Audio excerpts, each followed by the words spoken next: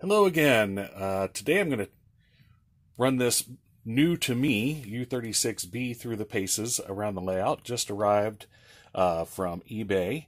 Uh, this was made in 1974. Uh, looks really good for its age, and uh, I think I got a really good deal on it.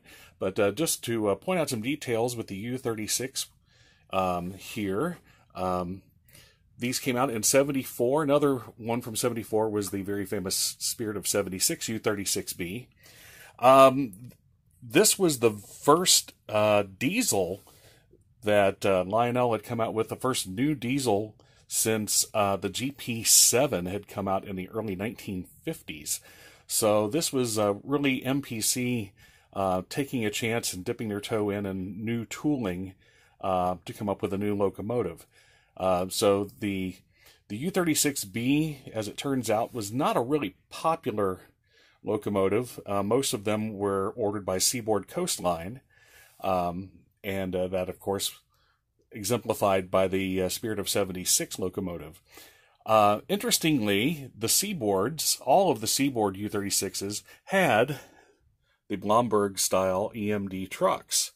Um, so that's actually prototypically correct uh, for U-36s. Um, Seaboard Coastline had most of them. They also went to Autotrain.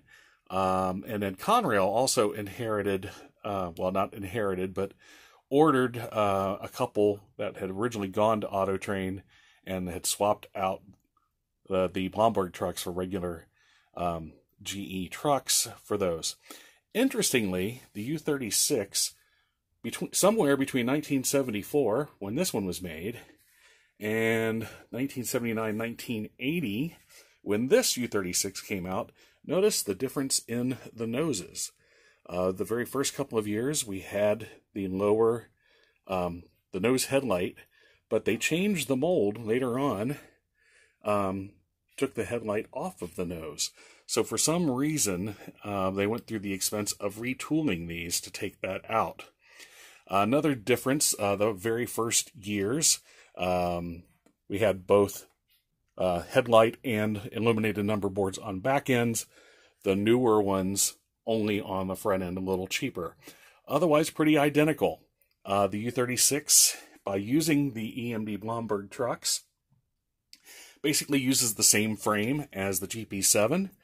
Uh, so, as far as scale is concerned, it's about two inches too short, uh, but with the selective compression, it looks about right and it's about as big as they could get it and still have it go around O27 curves.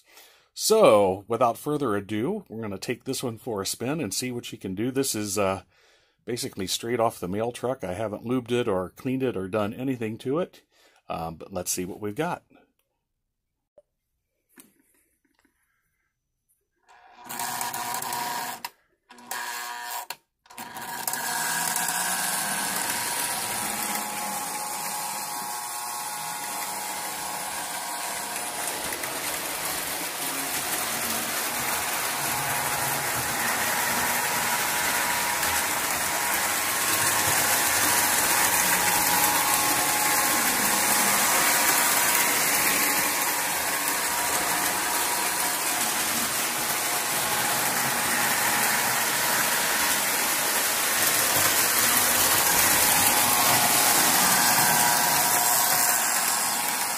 To run it and do photography at the same time.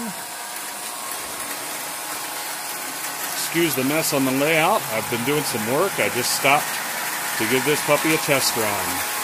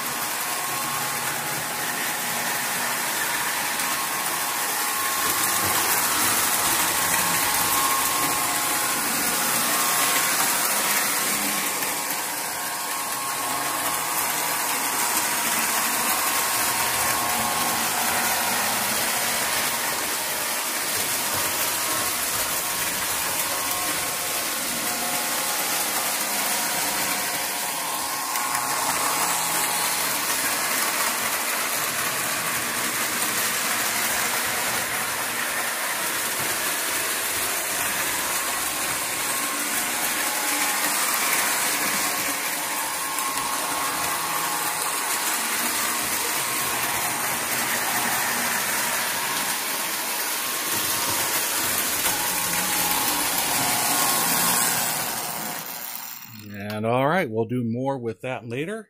But there it is, the Chessie U36B 6-8470 from 1974. Thanks for watching. Catch you next time.